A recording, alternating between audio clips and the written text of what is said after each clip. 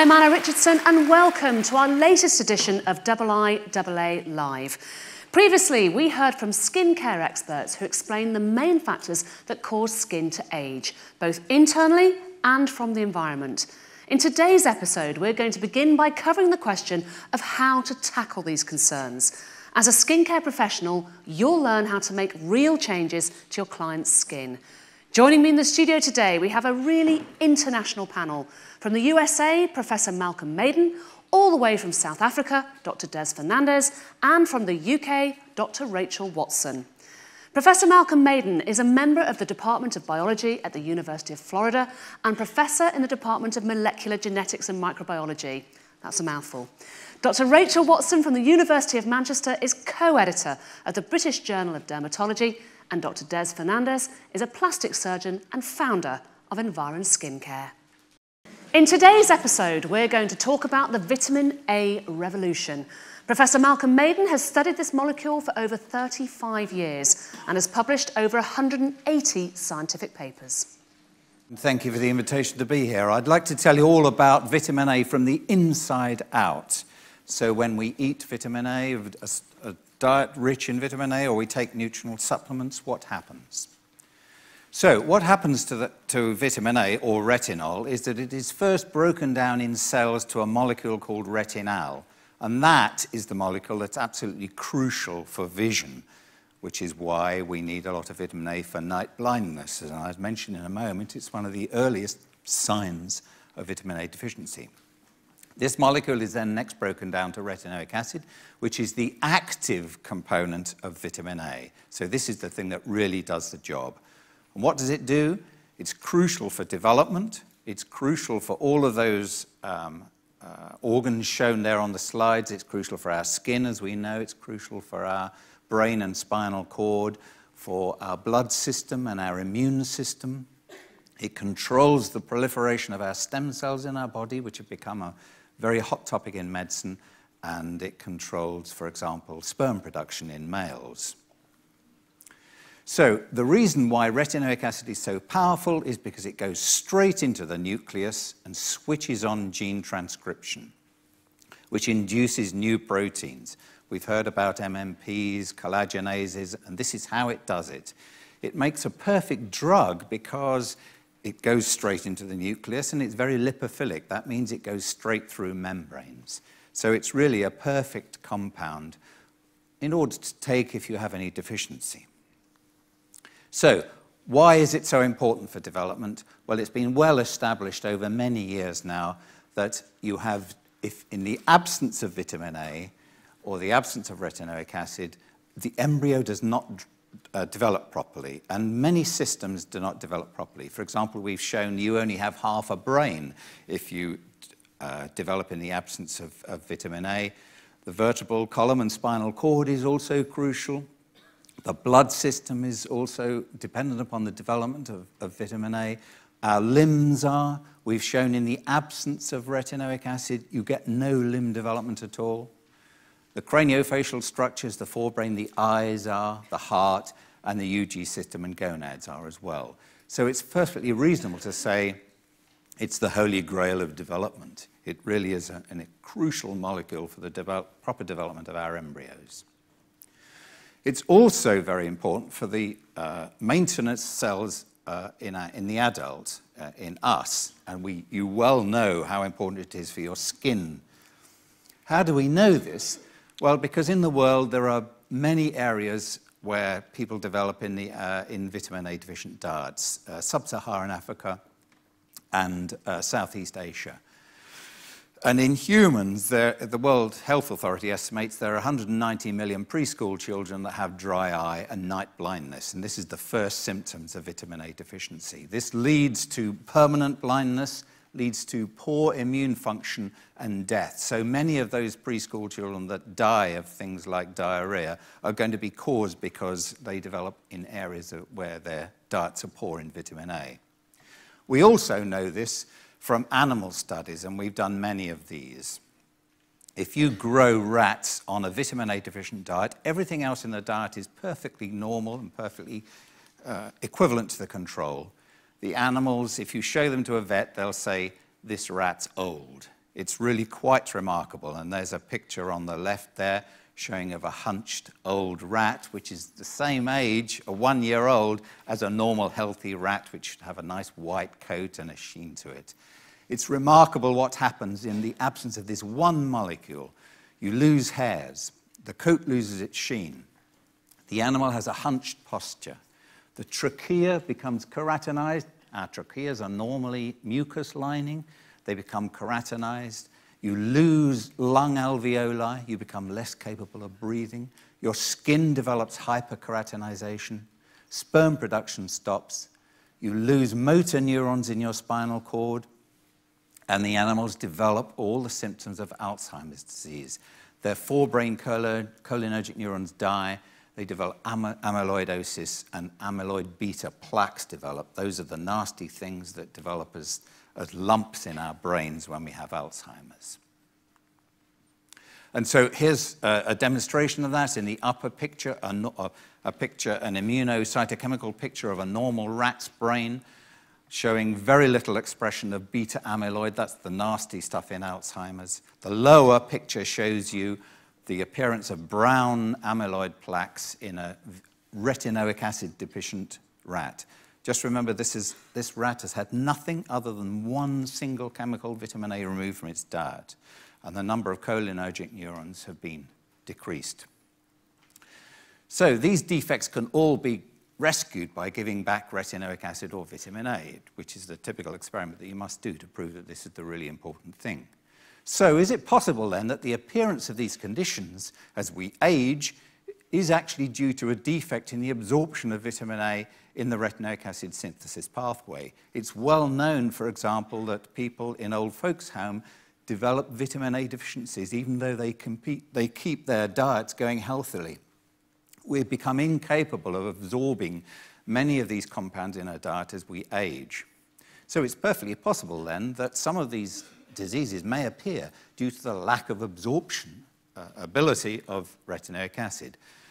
And that's perfectly true in humans because we've looked in human motor neuron disease cases and shown that there are defects in the retinoic acid synthesis pathway and also in the brains of Alzheimer's patients. So this, it's suggesting, therefore, that many of these things that appear in aging are caused by the absence or a defect in the pathway of vitamin A or retinoic acid. And here we see a picture of that uh, in the graph, we can see a decline in the uh, expression of a receptor of retinoic acid in an Alzheimer's brain compared to a normal brain. Therefore, the next question immediately arises can we rescue Alzheimer's in this particular model by giving back retinoic acid or a molecule that's uh, along that pathway? And, and, the answer to that is yes. It's a really striking finding. Admittedly, we've only done it in mouse so far, but if you give a transgenic model of Alzheimer's disease vitamin A or retinoic acid, the nasty compound in, in Alzheimer's is called amyloid beta, and the levels of amyloid beta drop massively when you refeed these animals back with um, retinoic acid or vitamin A. So it makes it a perfect drug for Alzheimer's disease treatment. That means it's um, the holy grail of maintenance of cells, not only of our skin, but also of our central nervous system and many other organs in our body. And, for example, sperm production in gonads, as I've mentioned before. So it really is the holy grail of maintenance. So there's another area where vitamin A is really important, which we found um, because we were working on regeneration of tissues. So as I'm sure you know, we don't regenerate anything, uh, apart from actually from our skin. Um, we certainly don't regenerate complex organs. But there are some animals that do regenerate complex organs, and one of those uh, are the newts. And there's a particular animal called an axolotl, which is a, a laboratory animal as a, as a, substitute for a newt. Uh, we see newts in our garden. If you cut limbs off these newts, they will grow back again. A really incredible process and that's shown here. Uh, you can see in the blue staining the bones of our, of our limbs. There's the humerus, the radius and ulna, and the hand elements. If you cut through the hand, it normally grows back perfectly, as shown in the top uh, picture. If you treat these developing limbs with retinoic acid or with vitamin A, in fact, as, as, as we did, it grows back an extra limb on the end. It doesn't just grow back a hand, it grows back two limbs in tandem, as you can see in the lower cartoon. So in organs where, which can already regenerate, vitamin A is a super regenerator, if you like to call it that. And subsequently, it's been shown that in many of these organs that can regenerate, vitamin A is absolutely crucial for the regenerative process itself. So we went on to show that in the animal, in those newts that could regenerate its limb, if you stop the production of retinoic acid or, or vitamin A, then you could stop regeneration completely, as shown in the top picture. X just means no regeneration. And this is now being widely found. It's also true, uh, there's a picture on the lower left of zebrafish, which can regenerate its caudal fin and its other fins. If you stop the production of retinoic acid or vitamin A in these organisms, you will stop regeneration of those uh, tissues, in that particular case, the, the caudal fin. And amazingly, the heart also regenerates in newts and in fish. And if you stop the production of retinoic acid in, those, in that organ, you will stop the regeneration of, uh, of those particular tissues. So, therefore, I know we can't regenerate anything, but perhaps if we extrapolate from these regeneration experiments, perhaps we can't regenerate things because maybe we haven't got enough retinoic acid circulating around, or we need to boost the levels that we do have.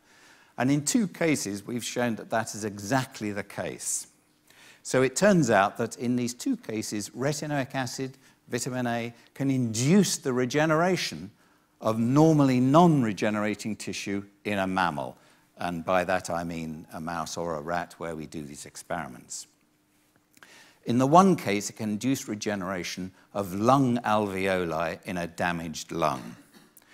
So on the left-hand side, you see a picture of a lung, and our lungs consist of millions of these very small little pockets called alveoli into which air comes and we absorb oxygen damaged lungs, uh, for example, by smoking or too much inhalation of other smoke in the third world, where you have fires in the middle of your house.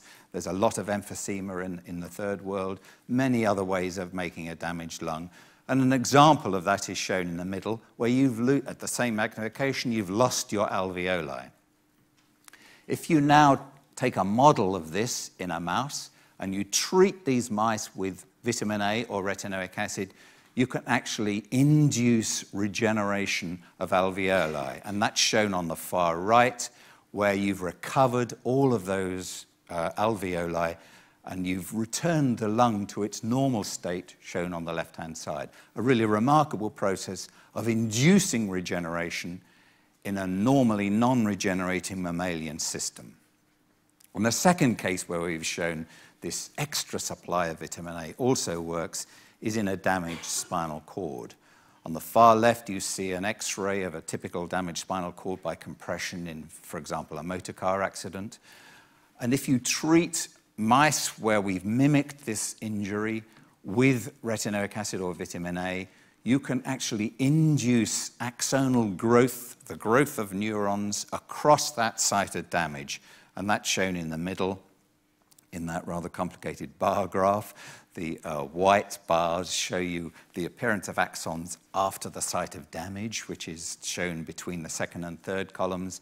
And in behavioral studies shown on the right-hand side, where each of the behavioral improvements is marked with a red arrow, you can actually show a recovery of a striking recovery of behavior after treating these damaged spinal cords with simply vitamin A or retinoic acid. So, in conclusion, then, we can see that the word Holy Grail is very appropriate. It's very important. Retinoic acid, vitamin A, is crucial for the development of many of our organs in the developing embryo. It's crucial for the development and maintenance of many of the cells in our bodies, including, of course, the skin. And it's also a very powerful drug for uh, the maintenance of these cells when they start to die, for example, in Alzheimer's disease, and it's also going to be used in the future as a drug for inducing regeneration of various organ systems. And I've highlighted two, for example, the lung and the spinal cord.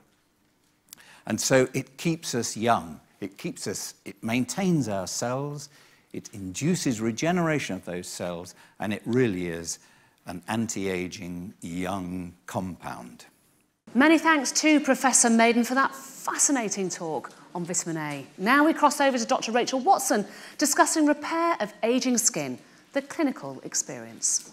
So today I want to talk to you about the repair of photoage skin. So we've already heard that there are two forms of ageing and that the major environmental damage comes from exposure to chronic sun exposure.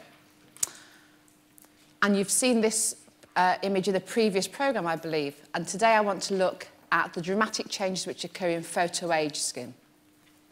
So these photographs show women of the same age. On the left-hand side, you see a lady whose profession has kept her, on the whole, indoors. Whereas on the right-hand side, you see a lady who has, whose profession has made, made her um, be exposed to large quantities of sunlight. And you can see there's dramatic differences in how the skin looks. In our aged um, individual, the skin is generally smooth, there are fine lines, and, and the skin is generally pale. But in our photo-aged individual, the skin is much rougher, it's coarse and fine wrinkles, and it also has that sallowness, that yellowness to the skin.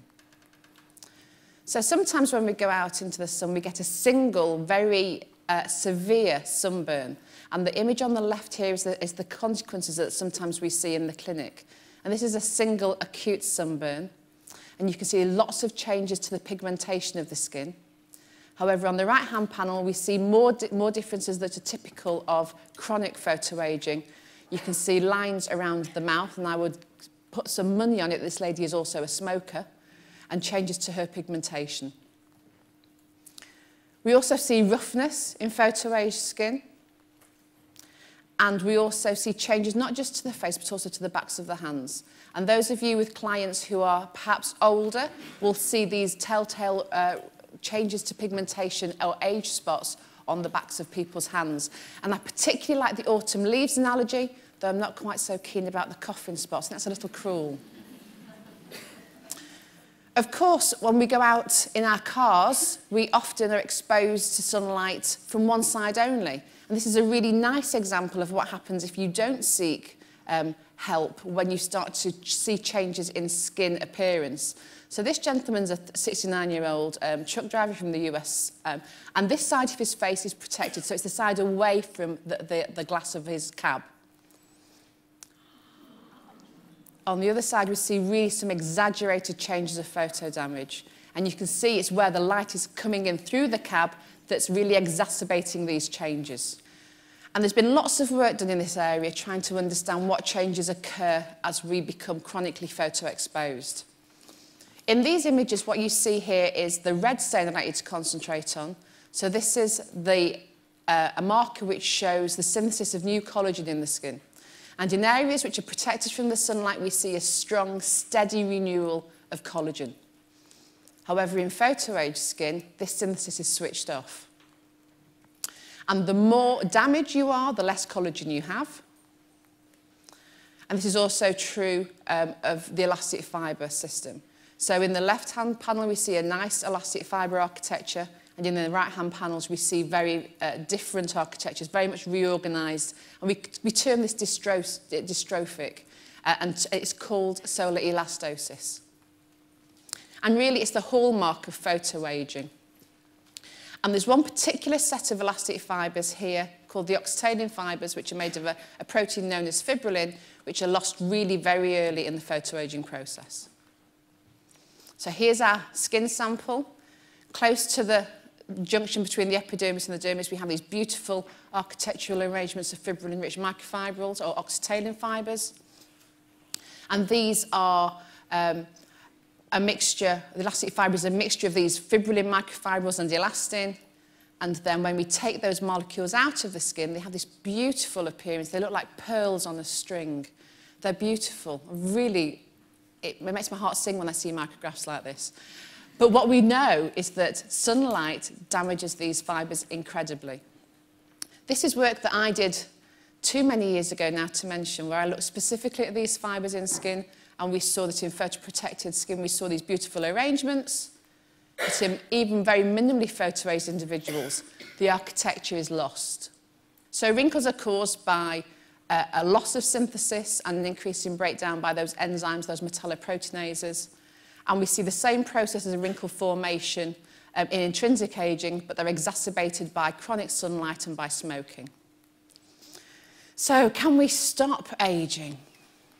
well, you've seen something very similar to this. And I'm not going to get into the details of the, of the structures of these molecules, but important to know that all transretinoic acid is the holy grail of regeneration. And we've got some great evidence from clinical studies which show if you look at all the different treatments for photoaging that you might be prescribed by a doctor, that it's all transretinoic acid or tretinoin which shows the best improvement. And I've got a series of photographs now which I want to show you the improvement that we typically see in clinical treatment of skin which is photoaged with these topical agents. So on the left-hand panel, we see uh, a baseline photograph of this gentleman. You can see these coarse wrinkles around his eyes. And after 48 weeks, we see a much an effacement of those wrinkles. The skin's smoother, it's brighter, it looks more plump. Likewise, we see an improvement in the pigmentary capacity of the skin. In the left-hand panel, you see all these age spots, whereas in the right-hand panel, you can see that they're much reduced. And the backs of the hands are a fantastic example. So here we have uh, one participant's hands. We can see after 40 weeks, all those age spots have been removed. And even better, when we take away the tretinoin, the all-trans-retinoic acid, it's maintained. So it's really boosted the skin, really improved the quality of the epidermis. And this is just some quantification because everyone, well, certainly if you're a scientist, likes numbers behind uh, images. So this shows that all of those features are significantly improved. Just to remind you a little bit of the histology again, so we see in photoage skin this loss of collagen. When we treat skin with all trans retinoic acid, that collagen synthesis is boosted back up. So we see that red stain close to the epidermal dermal junction is, is put back into the skin. And this is, this is some work which we did in, in photorage skin, which had been treated for four years with retinoic acid. And you can see those oxytalin fibres again have been renewed. So that again, they're reconnecting the epidermis to the elastic fibres which sit deeper down in the skin. We see changes in the melanocytes and how effective and how active they are. So in conclusion, photoaging is responsible for the changes, or the majority of changes that we see in appearance. Photoaging is associated with this loss of both the collagen matrix and the elastic fibre matrix. And we know that the retinoids are the best researched um, treatments for repair of photoaged skin. Of course, prevention is much better than cure, and sunscreens, of course, are the most effective way of protecting our skin against the chronic effects of UV. Um, but of course, anti-aging does have an effect. If you get the right preparation in the right person, then you may well see some really good benefit. So finally, I'd just like to acknowledge Chris Griffiths, who's our clinical professor in Manchester for the clinical photographs. And just to leave you with this, that what we're doing isn't new. So this was taken from an archaeological dig, um, a pot of cream that was brought, um, that was made around 200 AD. It was remade in the lab, and if you look at B there, it looks very similar to lots of things which we provide for our clients and ourselves on a daily basis. Thank you for your time. Thank you to Dr. Watson. And also joining us today is Tracy Tamaris, Director of Education at the IIAA. And Tracy will be telling us about her experience at the Institute with the use of vitamin A to repair aging skin. Dr. Fernandes believes that photoaging of the skin should be classified as a chronic skin disease caused by light exposure. And in order to treat it successfully, we really need to first understand the chemistry of skin and then develop a scientific approach to treating it. Aging starts in infancy, and continues throughout our life. It can take 10 to 40 years for the damage to manifest itself in the form of wrinkles, dry, rough, sallow, slack skin with irregular pigmentation, and even skin cancers. And these changes are caused by the interaction between light and chemicals within our skin, both on a molecular and atomic level. And we can control the rate at which our skin ages, and we can also reverse a lot of the damage. But none of this can be done without vitamin A. I grew up in South Africa on a beach um, with little or no sunscreen. And in my early 20s, I started to see uneven pigmentation and the beginnings of lines under my eyes. Luckily, I have been using vitamin A for the past 23 years and have managed to reverse this damage and prevent further manifestations. So here we have a very good example of a photo-age skin. So this skin is vitamin A deficient as a result of years of light exposure. And six months use of vitamin A creams combined with protective antioxidants morning and evening have resulted in a much healthier, younger, and normal looking skin. So even have a look at the skin on her neck. You can even see the tightening effects in that area, and this is making her look years younger. So the reason vitamin A is so important for our skin is because it influences up to a thousand of our genes and controls the growth of our stem cells, as well as the way these stem cells differentiate into functional cells, such as keratinocytes and fibroblasts. It'll control how these specific cells grow and mature as well. And so for this reason, vitamin A will always be fundamentally the most important molecule to keep skin healthy and rejuvenate old skin. And we call it the skin, skin normalizer, and there really is no alternative. And here we have another example of a vitamin A deficient skin, and this time on the body. And after applying vitamin A together with a neutralized lactic acid for eight months, you can, you can see a noticeable improvement in her skin. So vitamin A will thicken the epidermis, and that's the growing active layer of our skin.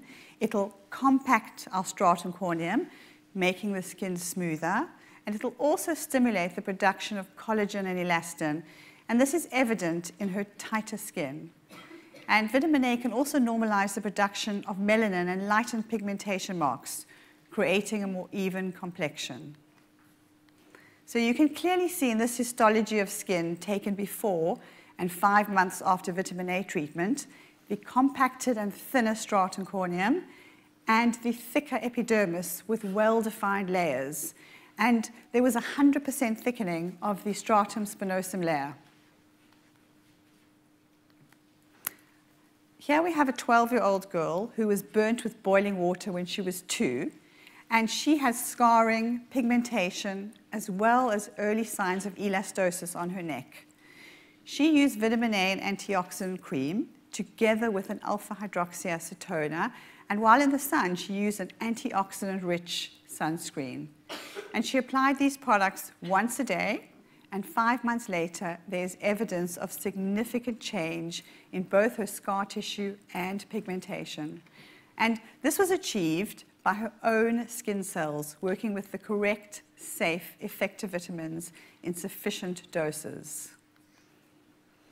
So here is another example of changes to pigmentation, which is a common concern for many people as they get older. It's also extremely difficult to treat successfully.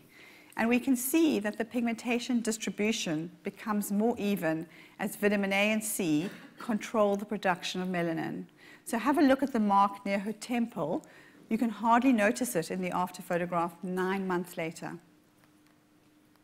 And it's clear to see the changes in this skin over a five-year period with vitamin A, C, and antioxidant therapies.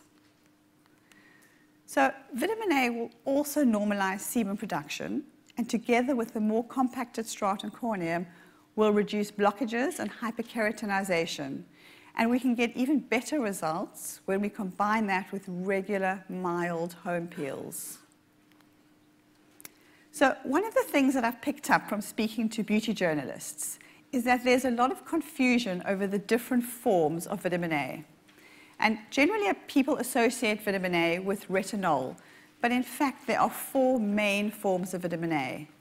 And Professor Maden has discussed, touched on these, but I'd like to just summarize. So, retinol palmitate and retinol acetate, which are chemically stable, mild, active forms of vitamin A, and we store vitamin A in our liver, in our skin, as this form, retinol palmitate. More than 80% of the vitamin A normally found in our skin is in this form. And retinol is the alcohol form of vitamin A, and this is the way vitamin A is transported in the bloodstream. It's chemically unstable, and it's much more irritating on the skin than retinol palmitate or acetate. It's normally also found in very low doses in tissue. And retinol can actually pass through the placental barrier in order to provide the developing fetus with vitamin A. So retinal, which is a form of vitamin A we use to make visual purple, which is essential for night vision, and retinoic acid, which is the metabolically active form of vitamin A, which works on the DNA of our cell nucleus and is responsible for all the incredible changes we see in skin. So Dr. Watson has shown us fantastic results using retinoic acid. However, it is important to bear in mind that um, this form of vitamin A is only available on prescription, and it can also be extremely irritating to skin. But the really interesting thing is that it doesn't actually matter which form of vitamin A we use on our skin. They are all ultimately converted into retinoic acid once they pass through the cell membrane into the nucleus of the cell. So it's actually easier to load the skin with retinal esters, retinol, or retinal in order to achieve the physiological effects of retinoic acid without the side effects. So the results that we see, we see with vitamin A are generally dose dependent. And by this, we mean the, that you need to use higher and higher levels in order to see significant changes on the DNA of our cells. And this is where a step-up system is very useful. So it allows one to start on low levels of vitamin A and build up to very high ones without experiencing any retinoid reactions. So those who are most efficient will need to build up slowly while their cells make more vitamin A receptors. But interestingly, children whose skin is naturally very rich in vitamin A can use very high levels without experiencing any retinoid reactions. And if our skin is kept very rich in vitamin A, we can actually prevent the signs of photo damage even when we go into the sun.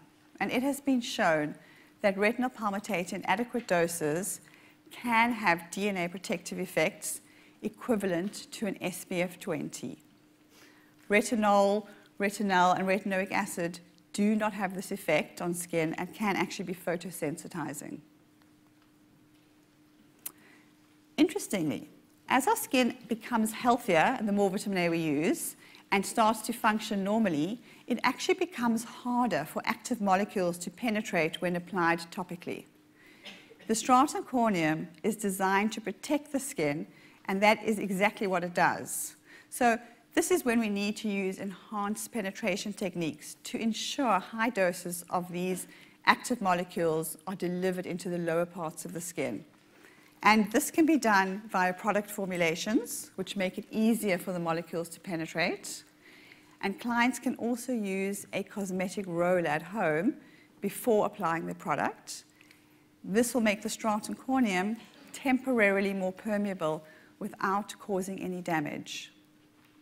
And pulsed iontophoresis and low frequency sonophoresis are also excellent ways of getting high doses of active ingredients into the deeper layers, more than 40 times better penetration than with topical application.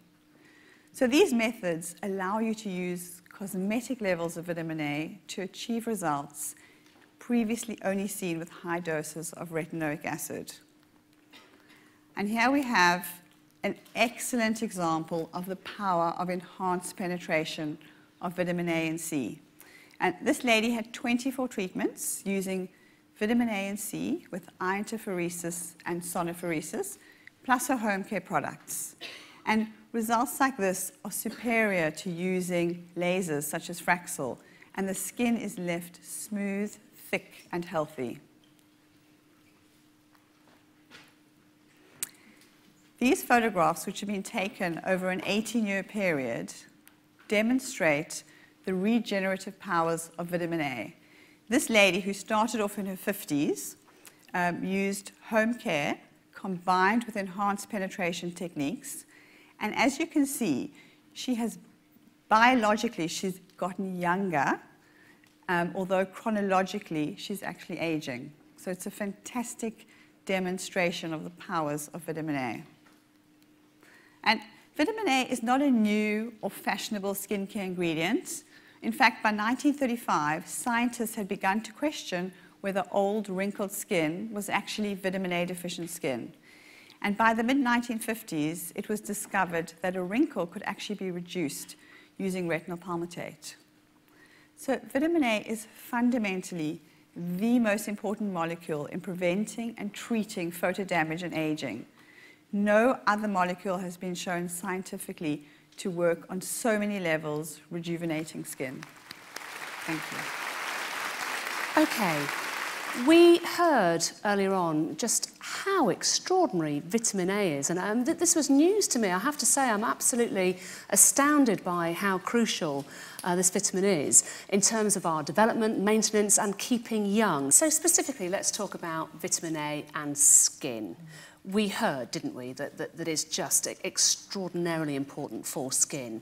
So, Malcolm, just to briefly explain again why it's so crucial in skin maintenance and keeping us youthful. Uh, because it's used endogenously there, like in many of the other organ systems I talk about. But in skin, it's, it's present, uh, it's required for maintaining the cell functions of each of those cell types of skin. Rachel talked about cells in the dermis. It's also true for cells in the epidermis. And you can mimic this in culture. You can grow skin in culture. At the, and at the air liquid interface, it's been shown that their, their concentration of retinoic acid is crucial for the maintenance of the epidermal functions. If you, if you lower it, uh, the epidermis changes. If you increase it, the epidermis changes. And so it's important because it's the natural molecule which keeps, uh, keeps the skin working. And do, do you think the general population is aware of the fact that vitamin A is just so crucial when it comes to, to youthfulness? No, they don't. So no, this is... I know that. Rachel, I mean, uh, do, do you think that, that within the UK we're aware of this? I, th I think the consumers are becoming more savvy, I think. Uh, over the past 10 years, certainly, we've seen a change in what people expect to see from their face creams. So they're looking all the time now for evidence that you know, there's been some rigorous clinical studies around the area, that there's a bit of evidence to show that it has benefits. And that might be just on the outwardly appearance of skin, but it might be more histological, looking more at the mechanism. Um, so I think, I think as, a, as, a cons as a consumer population, we're becoming much more um, switched on to the fact that what people necessarily write on the box, you need some evidence behind that. So, Are the results dose dependent then when it comes to, to vitamin A? Just explain a bit more about that because earlier on uh, off camera we were talking about which brands actually use vitamin A um, in their cosmetics. So just explain how important the, the dose is. So I think if, if anyone walks into the high street chemist and picks up a variety of brands and looks at the components within them, you'll find a retinoid in there somewhere. It might be retinoyl palmitate, it might be retinol. Um, and the key, I guess, is, is how much is contained in that product. Now, the companies won't tell you percentages, or very rarely do they tell you the percentages that are contained therein, but you have to see where they are on the ingredient list. So aqua will be the first one, because it's mainly water, and then other things are added in. So the higher that retinoid is in that list will give you a clue as to how much is in there. So as a consumer, as an ordinary woman going into a department store or, or, or a high street pharmacist, how do I know which brands to trust? Which one should I be going for? Well, personally, I would go to those companies that have done some basic science research to underpin their findings, really. So it was, uh, you know, 20 years ago when I first started doing research in this area, none of the cosmetics brands did any basic research to understand how their products were affecting skin. Oh, really? So with the development of the, of the assay system that I spoke about earlier, that the sort of the idea is changing a little bit. And we had one or two very early on successes where we showed that a topical agent could Im improve the structure of skin. And from that, you know, the media get hold of it and there's a little nugget. And the bottom line really is that good science really sells products. So it engages with the public. They understand a little bit more about how their skin cream is having an effect on their skin and then it moves on. We were saying uh, earlier on, uh, weren't we, Des, that actually um, in terms of... There's a very popular high street brand that contains retinoic acid. But you said to me, oh, well, that's a very, very low dose compared to Environ. So your products really do pack the vitamin A in there. Yes, and uh, that specifically, when I uh, started working on this, my concept was to get the same results as using retinoic acid, which was the medical form. Right. And when I realized that uh, it, it didn't matter which form of vitamin A you used, so long as you used the correct dosage in international units, for example, then you could get uh, similar results. So, so can, can we just talk a little bit more about dosage then? We touched on it earlier, but just explain to me what is the optimum dose in terms of actually seeing uh, a, a result? Because we were saying earlier on, weren't we, that actually you, you need to sort of build up to being able to use vitamin A. So just explain a bit more about that, Malcolm. Well, it's a sort of basic biochemical concept that the more uh, you give uh, of a substance to a cell, there will be more activity, there'll be more metabolism. In the case of retinoic acid, there'll be more gene activity. And it's a straightforward concentration effect, increasing concentration, increasing effect. And presumably you've got to take the client's skin into consideration as well, because you don't know what level to start at, which is why Environ has this, this step-up system, That's doesn't right. it? So just, just tell me a bit more about that then, Des. Because it goes from level sort of one to five, is that correct? That's right. And uh, progressively, what we were trying to do by uh, starting this was to avoid the retinoid reaction. Which is what? Tell me about the retinoid reaction. So the retinoid reaction is when you get red, sensitive skin, maybe flakiness, uh, certainly dry, and um, it's a transient uh, uh, event. It um, looks as though you've got an allergy, but the difference from an allergic phenomenon is that uh, with the allergic phenomenon, if you carry on using it, it gets worse. Whereas with the vitamin A, you carry on using it and you go through the phase of irritation and eventually it gets uh, more and more uh, normal skin.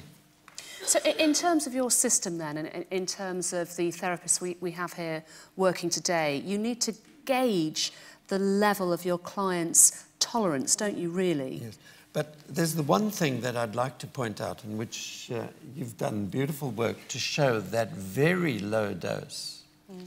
of vitamin A makes a change. Mm. So level one is an extremely effective product. Ah, okay. And many people think, oh no, it's a starter, it can be ignored. I never ignore it. I always start people on very low doses and they may only progress very slowly. I think that's right. I mean, you know, we, we talked at the very beginning of the day as well about people tend to want a, a quick fix, don't they, when it comes to skin care. But you're saying absolutely not. You know, you start at, at, the, at the very basic level, and that's crucial, actually, because there's still sufficient vitamin A in there to make a difference and build your way up. Yes. I think what's really interesting is that when we started doing the original studies in the early 1990s, mm. um, even when you're using the sort of super strength medicinal um, types of all-trans retinoic acid, you don't really see great changes until three, four, five months in. So you don't see, it's not a switch that you're switching on. It is a, a stimulation of those cells. And you have to, if, you know, if, a, if, a, if a super medicine takes that long, then a cosmetic is going to take much less. And so when, you, when people are thinking about doing studies to see how uh, good a topical product might be, it's really important to understand that, that, that if you do it over a two or three month period, you're not going to see much difference and you're sort of almost setting yourself up for failure. And really, you need to look at those longer term studies, those six months plus studies, to really see a, a difference in, in the skin biology. Why don't more cosmetic brands use and implement vitamin A then? What's going on there? Malcolm, do you know? No. no? Rachel? I, I guess mainly, because you're in a business setting, it's financial, I guess. These, the ingredients that you put into our, into our skin creams are expensive. They have to be very high quality, great levels of purity. They need to be stable over a long period of time. And all of these adds costs in. So it's about finding that perfect balance. So it might be the, the concentration of the retinoic acid. It might be antioxidants that you want to use to supplement it. It might be pentapeptides. I'm sure you're all familiar with pentapeptides. It might be the level of those that you add in as well. So it's about getting that whole formulation which provides the optimal balance for skin rejuvenation and repair. So does, will anything other than retinoic acid work uh, uh, and help to improve our skin? Well, we've seen quite nice changes in research work using vitamin C. We've also seen good changes in uh, the use of uh, peptides, uh, specific peptides that uh, uh, uh, produce changes in collagen and elastin. And then, of course, you'll get improved appearance and some degree of improvement of, from the alpha hydroxy acids. But I think that this is not in the same league no, as uh, uh, vitamin A. Um, let's talk a little bit about um, which age groups can use vitamin A because we've got this peculiar paradox, haven't we? Mm. That actually children can tolerate very, very high doses, and yet as you get older and the skin thins, as you were saying, Des, it's very difficult to, to tolerate. You have to sort of build up to it. Yeah. So who can use it? Well, I I put, um, I, I tell people this. If you're going out into the sun, you can use vitamin A on your skin. So that means little babies can use it. So in terms of the audience that we, ha we have here today, um, we're full of experts, we have therapists here. What would you guys be saying to them in terms of who can tolerate vitamin A, who can use it? Rachel? I guess it depends on what your client wants, really. I mean, I don't know how often you have young teenagers coming into your, your salons asking for anti-aging therapies. Uh, certainly, I have a 13-year-old daughter. She's very concerned about her skin. She's just getting to that puberty point and she's starting to have breakouts. And I have no qualms about her pinching my stuff because she does. I know she does. Um, as does my husband, but we won't go there. Um, but so I, I don't think, I think it depends on what the person thinks they need, actually. And having that in-depth um, conversation with them to really, because it's not just about your skin, it's about what you feel about your skin. So there's that psychological element as well. Before we wrap up, what do you use?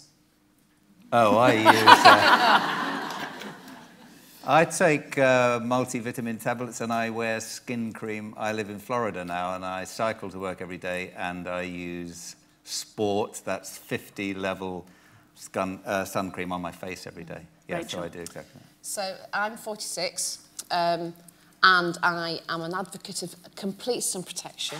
Um, not so much that you don't have any fun, but at least 50, factor 50 for everyday use. Um, because as we all know, we all put on sunscreens really badly. So actually, if I, if I put on a factor 50, then hopefully I might get a factor 15, actually, tolerance. Lovely. And, and Des, sorry. Sorry, and I would say, and then I would use um, a, a, a, a well-known branded serum for around my eyes and any areas where I think I need more help. So my frown lines, etc. And Des, we, we know exactly what you're using, so uh, no secret there. Thank you very much indeed to the three of you. Join us again next time for more practical information on how to deliver the very best results for your clients. I'm Anna Richardson for Double I, Double A Live.